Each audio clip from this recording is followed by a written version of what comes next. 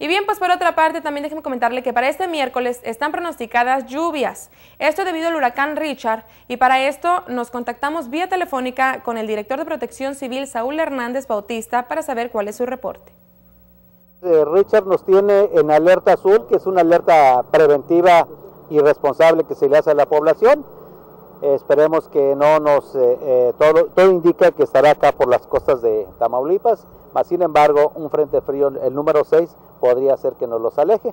Sin embargo, nosotros como autoridad no podemos bajar la guardia, tenemos que estar muy pendientes de cómo se desarrolla Richard. Y bueno, el plan de contingencia del municipio está vigente, que contempla la activación de los albergues y la coordinación con los tres niveles de gobierno si fuese necesario para dar auxilio a la población.